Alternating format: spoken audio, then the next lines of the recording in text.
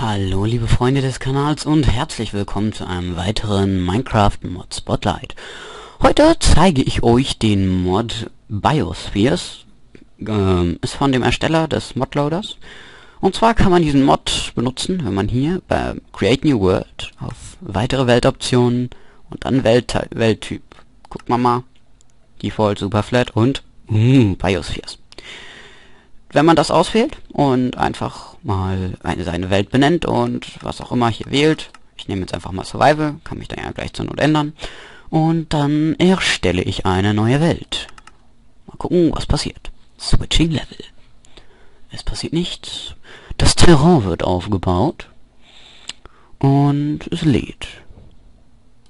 Warten wir mal ab, was passiert, wenn die Welt geladen hat. Uh. Ja, Saving Chunks. Und...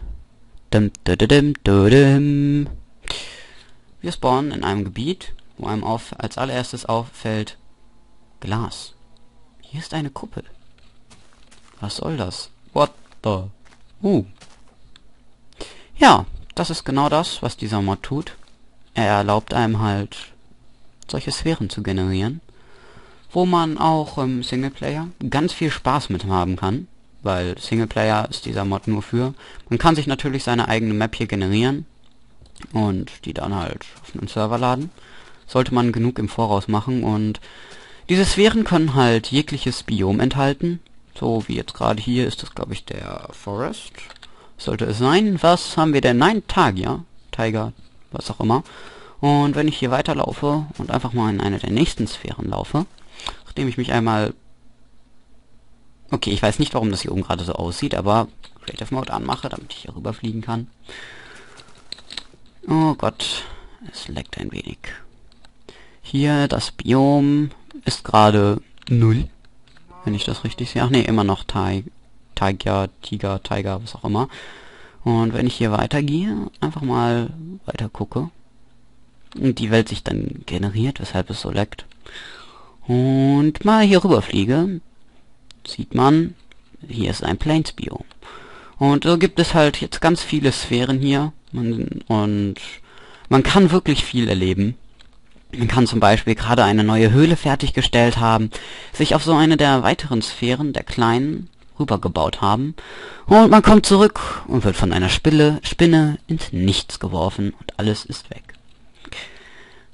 Weil auf diesen Sphären hier gibt es so eigentlich immer das Nötigste, was man zum Leben braucht, halt Holz und kann man sich halt hier reingraben und auch Höhlen entdecken. Wenn ich mich hier mal weiter reingrabe in den Fels, gibt es hier auch Höhlen.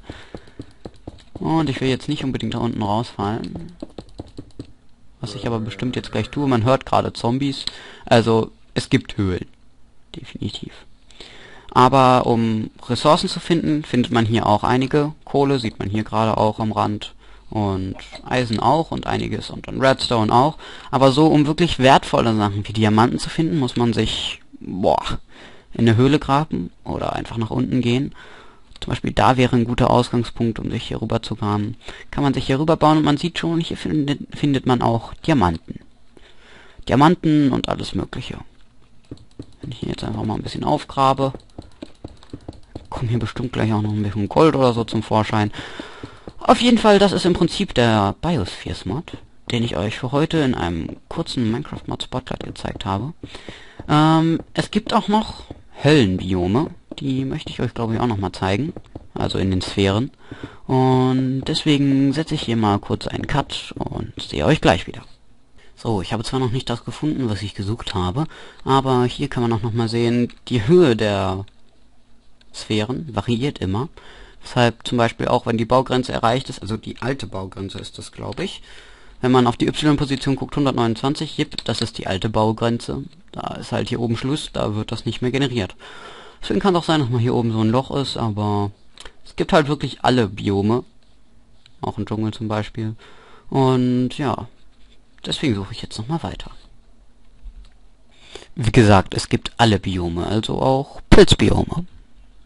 So, hier hat man nochmal ein schönes Beispiel, wie diese Sphären auch spawnen können.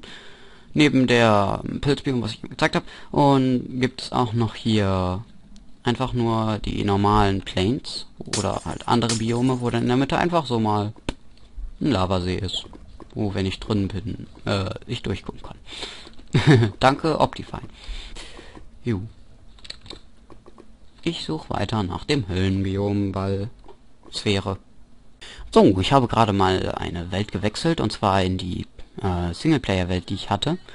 Und zwar sieht man hier eine Höll ein Höllenbiom. Wie es halt aussehen kann. Also es ist halt hier so ganz normal. Im Prinzip. Wie die anderen Sphären auch generiert werden. Nur eben, dass halt hier überall Netherrack ist. Zombie-Pigment spawnen. Die man auf einen aufmerksam machen kann. Und manchmal spawnen hier auch Gas. Das heißt, man muss da wirklich vorsichtig sein. Also, diese Sphären können sehr gefährlich sein, aber halt auch, wenn man irgendwelche Ressourcen halt den, aus dem Nether braucht, hier ist der richtige Platz dafür. Also ich habe bis jetzt noch nicht gesehen, dass auch so Nether Fortresses, also diese riesigen Burgen da gespawnt werden. Das habe ich noch nicht gesehen, weil ich noch nicht so viel erkundet habe. Aber vielleicht gibt es der auch. Ich weiß es nicht. Also, ja. Das war's eigentlich so mit dem Biospheres Mod. Man sieht jetzt da unten, ah, da ist ein Gast. Diese können auch spawnen. Kann ich mal hauen, dann wird er bestimmt auf mich aufmerksam. Oder auch nicht. Auf jeden Fall sieht man da unten, da habe ich auf der Insel, auf der Sphäre bin ich gespawnt, da habe ich gebaut. Und da bin ich halt dann hingegangen und naja, man kann halt einiges erleben. Und das war es eigentlich soweit mit diesem Mod Spotlight. Ich werde mich jetzt für mich Singleplayer halt wieder hinbegeben, damit ich da eventuell weiterspielen kann. Und ich hoffe, euch hat das Video gefallen. Ich bin Siliarus. Ich wünsche euch noch viel Spaß.